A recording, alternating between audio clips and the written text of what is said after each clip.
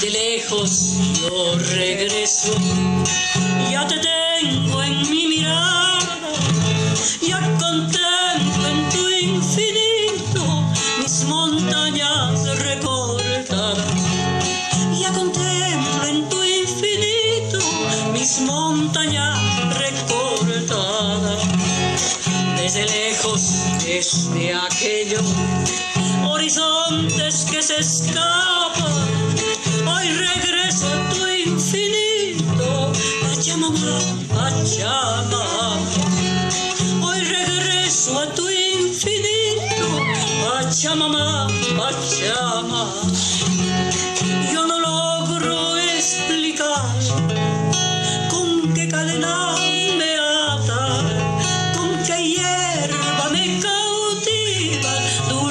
Yeah.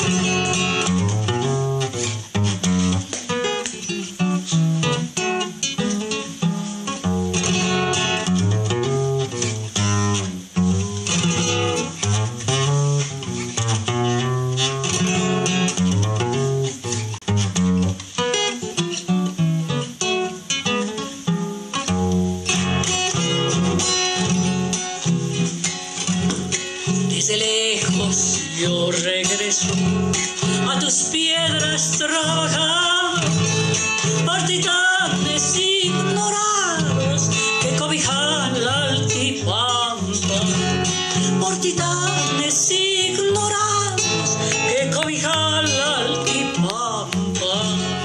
Desde lejos Qué mejor forma de poder arrancar Culturas BTV en este día tan especial. Justamente queríamos comenzar con esta canción preciosa y obviamente interpretada por la mismísima Matilde Casasola de regreso para decirle también desde Culturas BTV, desde Bolivia TV, feliz cumpleaños querida Matilde, un abrazo enorme, súper grande, súper fuerte también para ti, porque hoy es un día muy especial, ya que es cumpleaños de nuestra queridísima Matilde Casasola. De esa forma queríamos arrancar Culturas BTV, no te muevas de donde estás, porque tenemos un programa muy especial. Arrancamos.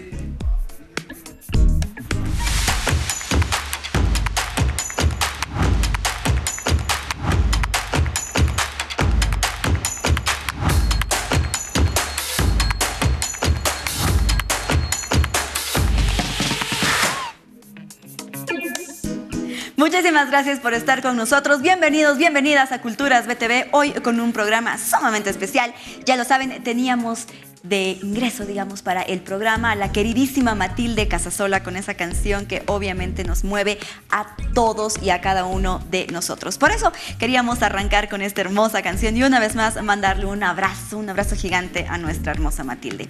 Arrancamos entonces el programa ahora con un contacto Zoom que ya está completamente listo porque saben que nos vamos a contactar hasta Alemania con una comunicadora social, investigadora, parte actriz también tiene ella, parte artística. Vanessa Calvimontes está con nosotros. Bienvenida, Vane querida, a Culturas BTV. Hola Dani, ¿qué tal? Muchísimo gusto.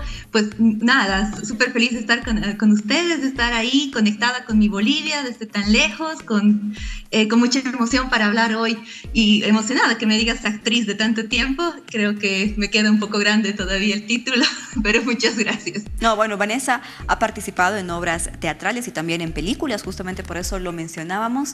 Y también es importante ahora contarle a toda la población lo que tú estás haciendo, porque justamente has podido publicar, gracias a la Fundación del Banco Central también en una revista muy importante, palabras tuyas sobre, obviamente, todo lo que tiene que ver de la escritura de la mujer, con esta visión. ¿Qué nos puedes comentar al respecto? Bueno, sí, comentarte un poco que eh, la investigación a la que te refieres se publicó en la revista Piedra de Agua, que es una publicación mm, semestral que saca la Fundación Cultural del Banco Central de Bolivia. Pero la investigación yo la inicié unos años antes, eh, ya cuando estaba haciendo, cuando estaba trabajando en el Museo de Etnografía y Folclore. La investigación es un poco sobre el rol de la mujer durante la guerra del Chaco, ¿no? Y en primera instancia, la investigación versaba un poco sobre las cartas que se habían enviado las denominadas madrinas de la guerra con pues, los soldados que acudían a esta contienda. ¿no? Eh, tuve la suerte de encontrar algunas de estas cartas, de acceder a ellas por algunos familiares y ver un poco los matices distintos y cómo había sido el rol de estas mujeres en ese sentido. Y debo, decir que una maestra mía, la gran Elvira Espejo, me dijo en su momento cuando le comenté sobre la investigación, bueno, esto está muy bien, pero ¿y, ¿y qué pasaba con las mujeres indígenas? ¿no? Porque evidentemente todo este periodo de la guerra del Chaco eh, había pues una invisibilización eh, del indígena y más aún de la mujer. Entonces, eh, ¿qué pasaba con ellas? Así que empecé a indagar un poco más sobre el tema, descubriendo con con mucha tristeza que escritos como tales sobre su rol existen muy pocos, por no decir ninguno.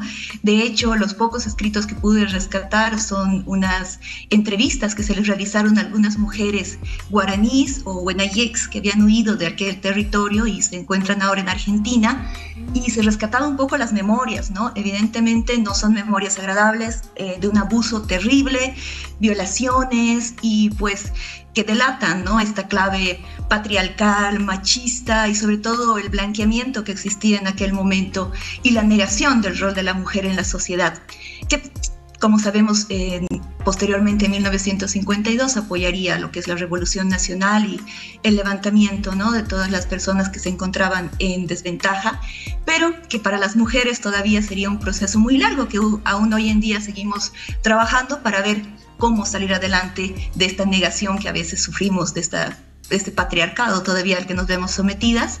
Así que, pues nada, ha sido una investigación muy hermosa, un camino que, que he recorrido con mucho interés y que de hecho sigo recorriendo eh, con estas cartas y con algún eh, contacto también con estos grupos de, ya pues algunas son hijas que siguen vivas de las personas que han asistido a la, guerra del Chaco, ¿no? de las mujeres que han estado presentes sin querer en esta contienda. Así que eh, eso es parte del trabajo que estoy haciendo ahora, no es el trabajo principal, pero sí es uno de los focos en los que me estoy tratando de centrar, Dani. Vanessa, hablemos un poquito de cuánto tiempo te ha llevado tener esta investigación para poder tener obviamente esta publicación. Bien, la investigación la inicié yo el 2019 mm. y eh, mire, ya son más o menos dos años dos años y un poquito más que me ha tomado, sobre todo poder acceder a, las cartas. Eh, muchas de estas cartas que te comentaba no están en libre acceso, pues delatan ciertos temas un poco complejos, ¿no? Así que, Dani. Sí, sí, sí, te estamos escuchando. Ah, perdón. Entonces, eh, sí, es un poco complejo. Muchas de esas cartas están en acceso restringido, porque también contenían alguna información eh, delicada, por así decirlo. Así que tomó un tiempo hacerlo. Desde el 2019 yo ya empecé a escribirlo, pero la investigación la empecé un poquito antes, a partir del 2018. Entonces, son como unos cuatro años en los que he estado ahí dándole un poco con el tema, contactando con personas que, que todavía tienen memoria sobre el evento, contactando con personas que tienen cartas, que podrían acceder, tratando de hacer el contacto incluso con el museo eh, militar, ¿no? Que tienen algunas cartas que hasta el momento no se ha dado. Si alguien me escucha, quisiera acceder. Así que, bueno, esos son los procesos para seguir investigando. Vanessa, si bien has trabajado mucho también en gestión cultural, cuando estabas trabajando acá en el Museo Nacional de Etnografía y Folklore, ahora te encuentras en Alemania. Si nos puedes comentar un poquitito sobre qué estás realizando allá también, ya en tu faceta más de investigadora. Claro que sí. Bueno, algunos de ustedes sabrán que, eh, como decía Dani, yo empecé un poco con el tema de, investigación, de actriz, empecé con el tema de comunicación cultural, de ahí nos conocemos con Dani, de la actuación. Y em, tuve la suerte, tuve la suerte de ganar una beca. Eh, de excelencia académica, irme a España, hacer una maestría en gestión cultural y ahí está realmente la oportunidad más grande, yo creo que el alma mater que me caracteriza, haber trabajado en el Museo de Etnografía y Folclore, haber trabajado con Milton Izaguirre, haber trabajado con Elvira, con Elvira Espejo, y tener esta formación eh, pues multidisciplinar, esta formación de colonial y estos pensamientos que pues te llevan a otra, otro tipo de reflexión, ¿no? Que ya va más allá de lo que te enseñan en la universidad, la práctica misma de trabajar con las comunidades, de pensar en los lenguajes, en otras formas de entender nuestra historia, nuestra vida, eh, citando a la, Elvira hacia, hacia dónde, quiénes somos, hacia dónde vamos.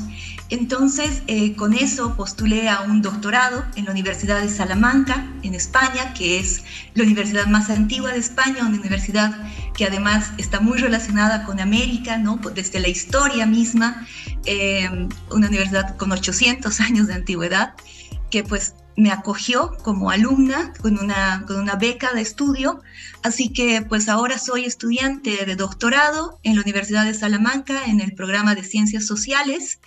Y em, se preguntarán por qué digo que estoy en, en un doctorado en España y estoy en Alemania. El tema es que he sido aceptada ahora para hacer una estancia doctoral en la Universidad de Bonn, en Alemania, para continuar con el tema de investigación. Estoy trabajando en los temas sobre decolonialidad enfocada desde la comunicación, sobre los lenguajes, sobre los acercamientos, un poco hacia esta reflexión, eh, viéndola desde, desde diversos puntos, desde la cultura, desde los tratamientos de la historia, desde el tratamiento mismo del lenguaje al expresarnos y pues descubriendo cosas muy interesantes con una realmente yo creo con una inspiración muy grande en el trabajo que tuve en el Museo Nacional de Etnografía y Folclore, en el MUSET, que quiero con todo mi corazón.